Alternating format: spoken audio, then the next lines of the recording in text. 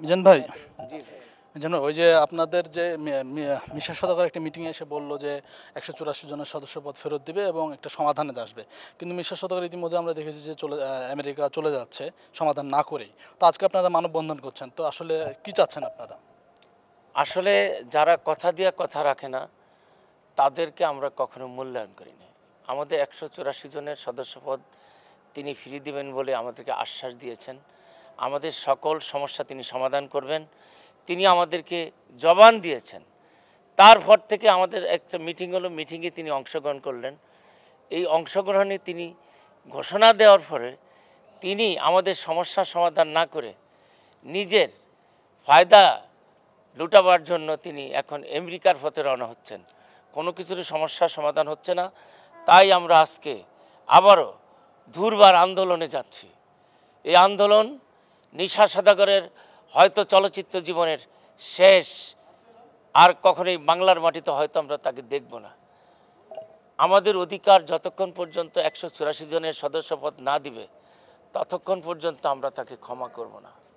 এই জাহিদ নিশার এই চক্রান্ত, জাহিদ তাকে কি খাইয়েছে জানি না, জাহিদ কোন মন্ত্র দিয়েছে আমরা জানি না।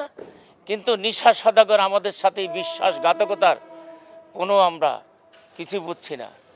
আমরা চাই আমাদের অধিকার রক্ষা হোক, আমাদের বাংলাদেশ চলচ্চিত্র শিল্পী অধিকার রক্ষা ফোরামের প্রত্যেকটি আমাদের অধিকার যেন বাস্তবায়ন হোক। কিন্তু আমরা কি দেখলাম? এই নিশা সদাগর, নিজেকে বলে সে নাকি নামাজ পড়ে, রোজা রাখে, মিথ্যা কথা বলে না। তিনি সত্যবাদী, তিনি তুলসীর ধোয়া, তিনি দুধে ধোয়া কিন্তু আমরা কি দেখলাম? দেখলাম তার প্রতারণা, সেই আমাদের মধ্যে ঢুকে আমাদেরকে, আমাদের সংগ্রাম আন্দোলনকে দাবিয়ে দেওয়ার জন্য অনেক চেষ্টা করেছে। আমাদের প্রত্যেকটা কথা তিনি মেনে নিয়েছেন, আমরা ধরে নিয়েছিলাম, তিনি আমাদের কথা রাখবেন, আমাদের সদস্যপদ আমরা ফিরে পাব। কিন্তু আজকে এই পরক্ষণে কী দেখলাম? স্যার, এই প্রতারণা, তার এই বিশ্বাসঘাতকতা তিনি কোনো কিছুরই সমস্যার সমাধান না করে তিনি আসতেই চিকন দরজা দিয়া আমেরিকা চলে যাচ্ছেন। কবে আসবেন, কি করবেন, কি সমস্যার সমাধান করবেন, তিনি তা করলেন না।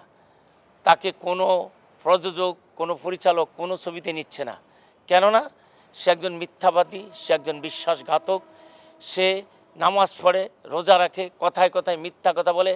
তার মতো মিথ্যাবাদী কখনো আমাদের অধিকার ফিরে দিবে না। এটা আমরা জেনে গেছি। তাই যতক্ষণ পর্যন্ত আমাদের অধিকার রক্ষা না হবে, আমরা ততক্ষণ মাঠেই থাকব। আমরা এই জাহিদ নিশার বিরুদ্ধে রুখে দাঁড়াবো। কয়দিন ক্ষমতায় থাকবেন আমরা সেটাও দেখব। আল্লাহ যদি আমাদের সহায় থাকে, বাংলাদেশের মানুষ যদি আমাদের প্রতি শ্রদ্ধাশীল হয়, আমরা যদি তাদের শ্রদ্ধার পাত্র হয়ে থাকি, আমরা যদি ভালোবাসার মানুষ হয়ে থাকি, আমরা তাকে ক্ষমা করবে না আল্লাহও তাকে ক্ষমা করবে না। আমাদের এই একশো চুরাশি জনের পরিবার অনেক কষ্টে আছে, অনেক লোক মারা গেছে, অনেক লোক অসুস্থ হয়েছেন। আমরা শিল্পী সমিতির সম্মানিত সদস্য ছিলাম।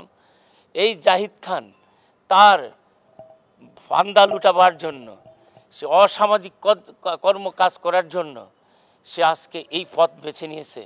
এই অন্যায়ের পথ কখনো সুগম হবে না। এই পথের পরাজিত হতে হবে। এটা আমরা বিশ্বাস করি। তাই আজও আমরা রাস্তায় আছি। আমরা আমাদের রাস্তায় থাকব। যতক্ষণ পর্যন্ত আমাদের একশো চুরাশি জনের সদস্য পদ আমরা ফিরে না পাবো, আমরা কাউকে ছাড়ব না। আমাদের যতক্ষণ রক্ত শরীরে থাকবে, আমরা এই রক্ত নিয়ে লড়াই করব। আমাদের জাতির জনক বঙ্গবন্ধু একাত্তরে মুক্তিযুদ্ধ করে যেভাবে এই দেশকে স্বাধীন করেছে, আমরা চলচ্চিত্রকে সেইভাবে এই সোনার বাংলার সোনার চলচ্চিত্রকে কখনো হাস্যকর হতে দেব না।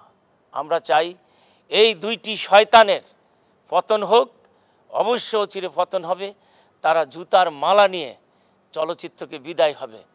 তাদেরকে চলচ্চিত্রের কোনো মানুষ ক্ষমা করবে না।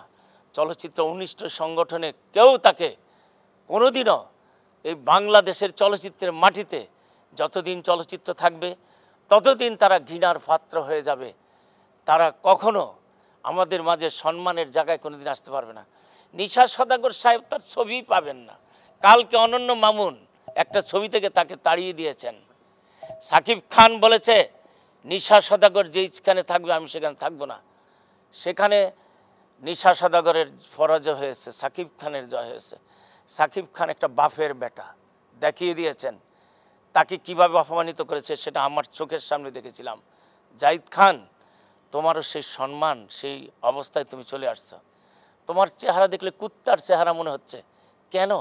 আল্লাহ তোকে ক্ষমা করবে না, জাহিদ। আমি তোর বাবা সমতুল্য। আমি চল্লিশ বছর আড়াই হাজার ছবিতে অভিনয় করেছি। আরে বেটা, তুই কয়টা ছবিতে অভিনয় করছিস? আয়, মুখামুখি হ। তোর কিন্তু এই চলচ্চিত্রের জায়গা হবে না, জাহিদ। তুই এখনও সময় আছে, ওই গদি ছেড়ে তোর বরিশালে চলে যা। সেখানে ফেতা ঘাটটি বরিশালের লোক তোর জন্য অনেক অপেক্ষা করতেছে। তোর যে এই অসামাজিকতা এই যে নারীর উপরে তোর এই যে বিভিন্ন কেলেঙ্কারি যে ফফির সাথে তোর এই অস্বীকারগুলা মানুষ দেখে তোদের ছিচি করছে। তোদের কি আর কি কিছু করার আছে? এখনও ভালো হয়ে যা আমাদের সদস্য ফিরিয়ে দে। আমরা টাকা দিয়ে সদস্য চাই, আমাদের টাকা ফেরত দেবি। নইলে আমরা তোর বিরুদ্ধে বড় বড় মামলা করে তোকে আমরা সামলাবো জাহিদ। আমি এখনও বলছি ওই নিশা সদাগরকে টাকা ভাগাভাগি দিচ্ছিলি না? আঠারো লক্ষ টাকা, সেটাও প্রকাশ হয়ে গেছে। তোর ফলাবার জায়গা নেই। কোথাও তোকে কেউ নেই আল্লাহ তোকে ক্ষমা করবে না। আমরা তো একশো চুরাশি জন, কোনোদিন তোর ক্ষমা করব না। আমাদের একশো চুরাশি জনের অভিশাপ নিয়ে তুই কতদিন বাঁচবি? একশো চুরাশি জনের পরিবারে এক একটা পরিবারের দশজন করে সদস্যের অভিশাপ পাবি। আমাদেরকে আমাদের সম্মানের জায়গায় আন। তুই তোর সম্মানের জায়গায় থাক।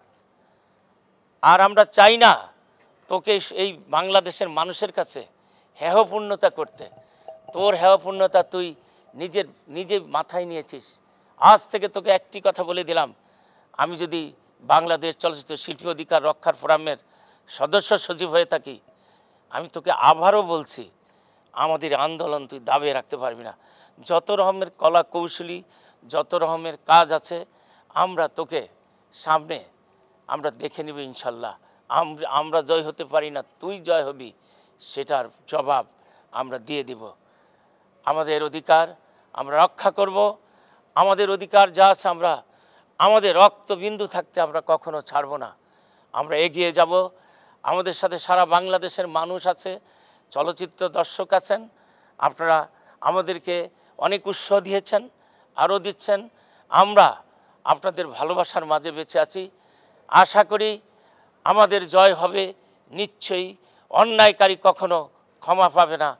আমাদের জয় হবে জয় হবে।